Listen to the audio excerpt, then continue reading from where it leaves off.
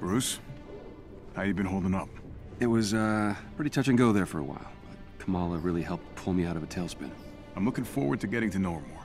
She's a good one, Cap. Maybe one of the best. Welcome home, Cap. Glad to be here, Bruce.